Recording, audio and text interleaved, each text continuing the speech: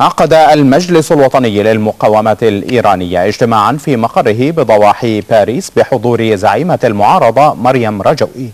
وأشادت رجوي بتظاهرات الشعب الإيراني التي خرجت في أكثر من 140 مدينة رغم اعتقال الآلاف داعية الجميع إلى مساعدة الشعب في انتفاضته للخلاص من النظام وتحقيق الديمقراطية كما تحدث في الاجتماع معتقلون مفرج عنهم ومسؤولون أمريكيون سابقون وعدد من ممثلي الجمعيات الإيرانية في أوروبا.